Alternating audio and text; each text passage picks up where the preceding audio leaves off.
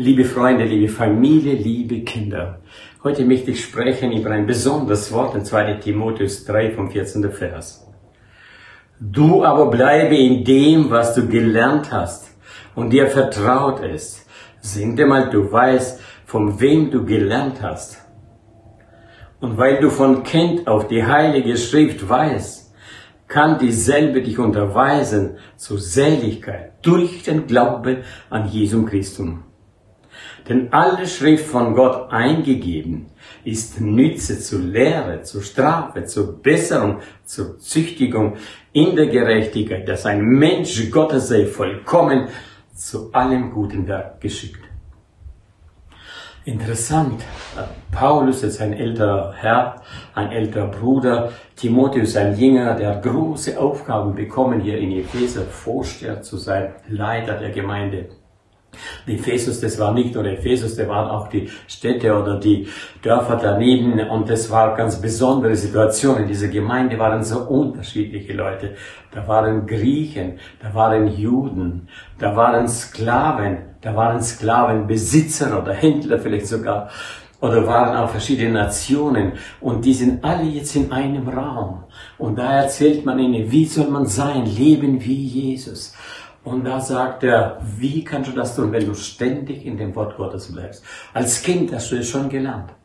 Er hat eine gläubige Oma gehabt, er hat eine gläubige Mama gehabt. Ja, und die haben ihn unterwiesen. Er hat die Schrift schon gekannt. Nur man kann sagen, ich kann doch die Schrift. Warum soll ich sie immer wieder lesen? Nein, er sagte, du sollst dabei bleiben, denn die Schrift ist von Gott eingegeben. Sie ist Nütze zur Lehre, zur Strafe, zur Besserung, zur Züchtigung in der Gerechtigkeit, dass ein Mensch Gottes sei vollkommen zu allem guten Werk geschickt. Deswegen soll er weiter lesen. Wenn wir lesen mit einem zerbrochenen Herzen, wir sagen, Jesus, wirklich, dein Wort möge doch uns belehren. Das möchte uns nützlich sein. Das möchte uns strafen. Das möchte uns auch so bereiten für das Himmel, dass wir so sind für jedes Werk bereit sind, sogar vollkommen, sagt er hier. Dazu ist das Wort Gottes, das man hier liest. Aber ich denke, jenes Mal war ja nur das Alte Testament und es war so nützlich. Aber wir haben heute noch das Neue Testament. Das ist doch auch etwas Besonderes. Ich weiß nicht, weil das Alte Testament war mehr ausgerichtet auf die Werke, was man tun sollte, um gerettet zu werden. Und das Neue Testament ist, dass wir glauben an Jesu. Denn wir werden gerettet nicht durch die Werke, sondern durch den Glauben an Jesu weil er uns alle Sünden vergibt, weil durch die Beziehung mit ihm können wir in seiner Gemeinschaft leben. Ich weiß nicht, für mich ist es so wichtig, das erste Werk, das Jesus vollbracht hat am Kreuz, wo dieser Schächer am Kreuz gläubig geworden ist. Und er sagt ihm, heute wirst du noch mit mir im Paradies sein. Das war so eine Gnade. Schaut mal, ein Mensch hängt am Kreuz, ein Räuber, ein Verbrecher.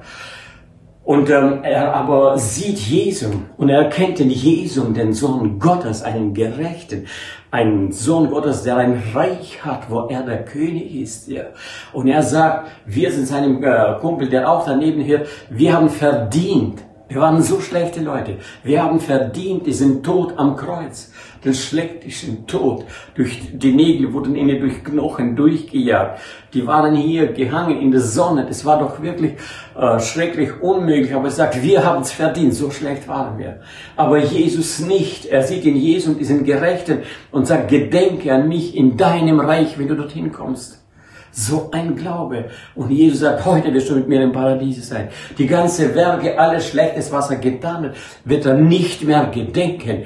Aber er gibt ihm sogar die Möglichkeit, in dem Reich Gottes zu leben und zu sein. Das ist das Neue Testament. Und ich denke, wir sollen das Alte Testament lesen, aber doch immer mehr an Jesus denken, weil das sagt er auch. Also die macht dich selig, wenn du hier auch an Jesus Christus denkst, ja zur Seligkeit. Und dann lese ich noch den Text aus Hebräer 4,12. Denn das Wort Gottes ist lebendig und kräftig und schärfer denn kein zweischneidig Schwert und dringt durch, bis dass es scheidet Seele und Geist, auch Mark und Bein und ist ein Richter der Gedanken und Sinne des Herzens. So ist das Wort Gottes. Wenn du es wirklich liest, so liest, dass das Wort dich verbessern soll. Du musst es in einem demütigen Zustand nicht lesen, um die anderen zu verbessern, aber in erster Linie, dass das Wort dich verbessert. Als dieses zweitsteinige Schwert, das von dir alles Unnötige, was Gott nicht gefällt, abschneidet. Ja, dass du so wirst, wie er will, vollkommen für jedes gute Werk, das Gott für dich vorbereitet hat zu tun. Und deswegen ist es so wichtig, dass es, ähm, dass man im Glauben es aufnimmt, dass es vermengt wird durch den Glauben, in unserem Verstand, in unserem Herz, dass wir es so aufnehmen. Und dann werden wirklich äh, ausgerichtet die Gesinnung Jesu bekommen so leben wie Jesus, seine Charakterzüge. Und das Wort, das hilft dir. Und das muss man weiterhin lesen, wirklich auch mit ganzem, mit ganzer Seele, mit unserem Verstand, mit Können, dass das Wort Gottes von uns aufgenommen wird und dass es uns Speise ist und auch uns verändert, so dass wir letztendlich Jesu ähnlich werden. Danke, Jesus, für dieses Wort, für die Bibel. Amen.